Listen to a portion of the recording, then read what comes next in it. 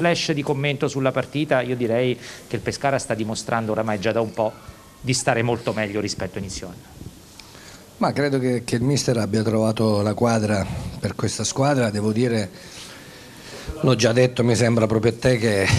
devo fare i complimenti anche a Luca Matteassi che a gennaio ha portato i correttivi giusti. Eh, noi purtroppo nel mercato dell'estate non, non, siamo stati in grado di poter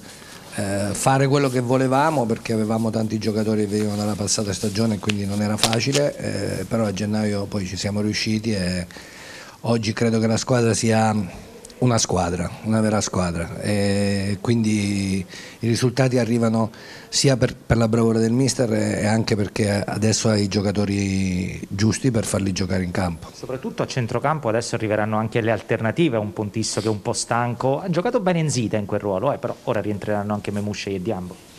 Sì, sì, ma mh, devo dire che, ripeto, Zita è entrato sia a Modena e anche oggi molto bene in un ruolo che, che, che sta facendo adesso perché non è, non è, il suo, però tutti quelli che hanno giocato io credo che oggi eh, la squadra abbia veramente espresso un buon gioco dall'inizio alla fine e credo che se c'è da, da fare, un complimento, eh, fare un complimento a tutti quanti, eh, voglio sottolineare una prestazione perché ho visto un ragazzo rinato che, che, è Luca Clemenza, che ha fatto una partita, una grandissima partita sia in fase di, di, possesso che di non possesso, è una cosa che non vedevo da un po' di tempo, gliel'ho fatti personalmente ma ci tenevo a farli anche pubblicamente perché ha fatto una grandissima partita, come tutti gli altri ma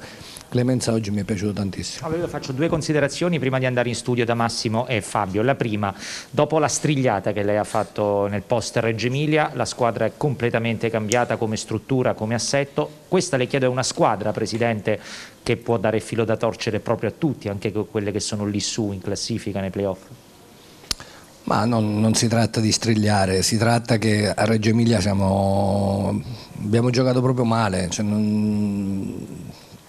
non, non, abbiamo espresso il gioco che normalmente facciamo. Non, siamo stati squadra, abbiamo fatto, devo dire, un paio di errori che ci sono costati la partita perché poi loro non è che abbiano fatto chissà che cosa. Credo che i 20-22 punti di, di, di, vantaggio che hanno le due mh, non rispecchiano la realtà con, con la nostra compagine oggi però hanno meritato di stare lì e quindi vanno fatti i complimenti a loro. L'ultima da parte mia riguarda la questione plusvalenze perché una parte della tifoseria è preoccupata per quelle che potrebbero essere le richieste della procura visto che al Pescara è stato contestato anche il comma 2 che è un, è un comma pesante. Qual è il pensiero del Presidente? Il pensiero del Presidente è quello che ho sempre detto, noi siamo molto tranquilli sull'argomento, aspettiamo chiaramente il deferimento della Procura che ci sarà sicuramente e poi ci difenderemo perché se c'è qualcuno che vuole contestare la vendita dei giocatori dove il Pescara prende soldi, allora è chiaro che a questo punto dovrò dargli anche le chiavi del, della società e fargli gestire la società, perché se, se, uno mi contesta che non posso vendere un ragazzo a un milione dove ho preso soldi, eh, allora vuol dire che devono farlo loro il calcio, perché obiettivamente non, noi non abbiamo fatto scambi di figurine, lo dimostreremo abbiamo incassato soldi da tutte le operazioni che abbiamo fatto, se poi qualcuno mi deve contestare che io possa essere bravo o più bravo a vendere un giocatore invece di, di 500 a un milione, eh, allora a questo punto vuol dire che devo cambiare mestiere. A proposito, società, ci sono novità? No, però sto lavorando e devo dire che stiamo andando anche abbastanza velocemente avanti e spero veramente che da qui a un po' di tempo ci saranno novità perché è giusto che sia così. Perché... Ma con il gruppo di Gian Giorgio o con altri?